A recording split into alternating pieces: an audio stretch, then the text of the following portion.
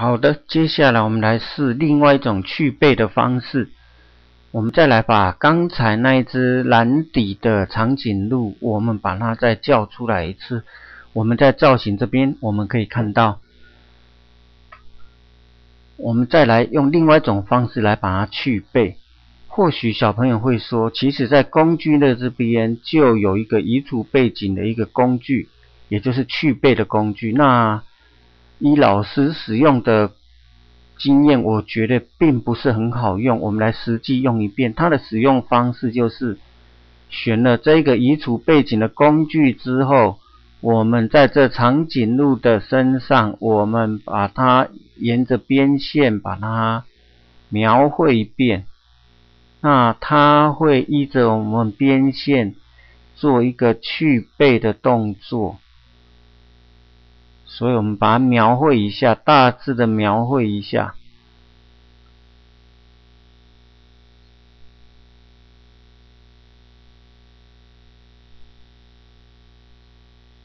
好，我们大致的给它描绘了一下。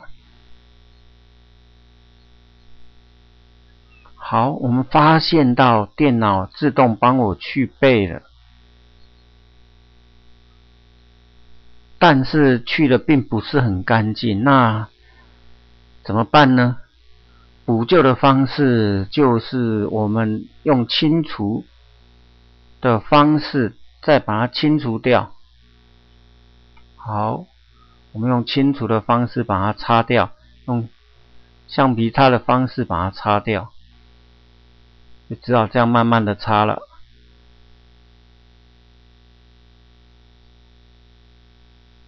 所以我们可以用橡皮擦的方式把它擦掉，擦过头了就复原。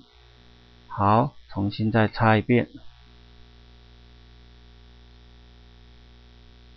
好，我们就可以这样子慢慢的擦，慢慢的擦，把这些蓝色的底把它擦掉，也是一种去背的方法，但是并不是很方便，所以小朋友你可以。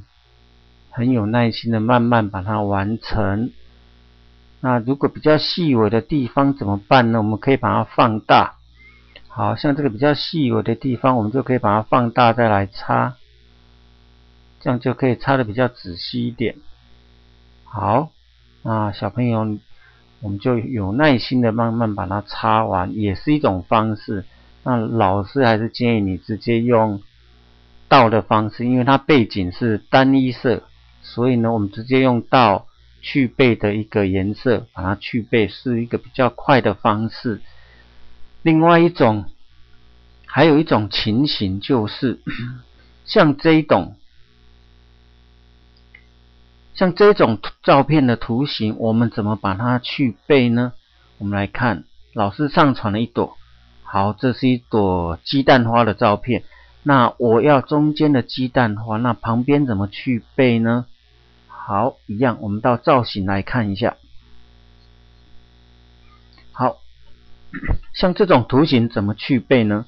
好，第一个方式很简单，我一样可以像刚才一样，用移除背景的方式，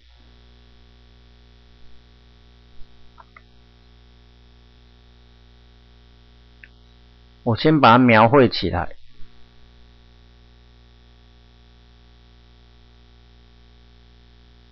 请他大致帮我去掉一些。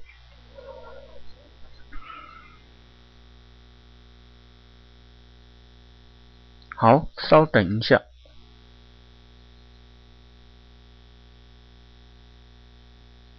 好，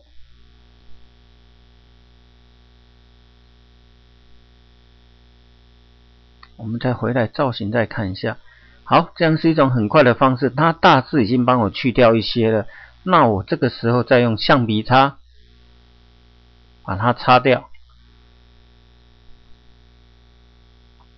比较细有的部分我们可以把它放大来处理。好，我们把橡皮擦缩小一点，这样比较好做细部的处理。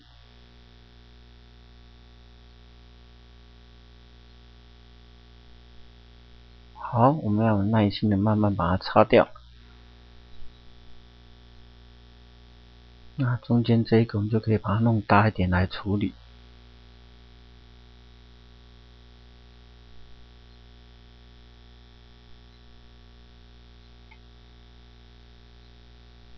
好，我们就可以用这种方式，慢慢的把背去掉。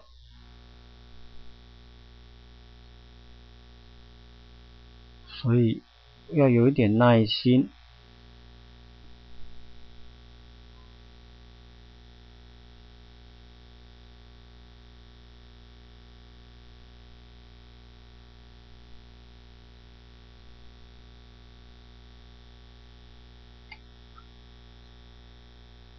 好，我们稍微把它，好，这样子我们就可以去掉了一些。那呢，我们可以继续的把它去掉。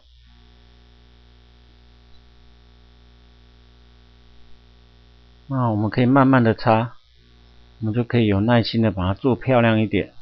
好，那老师简单的去一下。如果 如果过头了没关系。我们这边有一个复原的动作，我们再把它复原回来。好，再擦一遍。如果觉得自己擦的不够好，我们可以用复原的方式。我们可以用复原的方式，让我们自己重新再来处理一遍。好，那。大致上就是这样，那就是只要有耐心的慢慢把它边缘去掉，这样子我们也可以完成了一朵去了背的一个